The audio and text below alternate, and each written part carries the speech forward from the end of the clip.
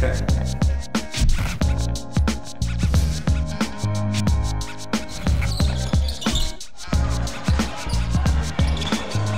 name is Cheikh N'diaye from Senegal, freshman center.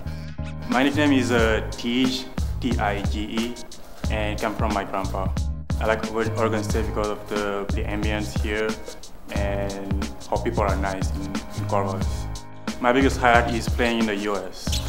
If I was not playing basketball, I would be playing in France or going to school. My favorite movie is uh, Hamar and Kumar. My favorite place in Corvallis is uh, Buffalo Wings. The one thing people don't know about me is the ice surf. Practice facility is great. Uh, give us a chance to go, go to go out there every day at any time for a good workout. I'm excited about this, this season. It's going to be a great season.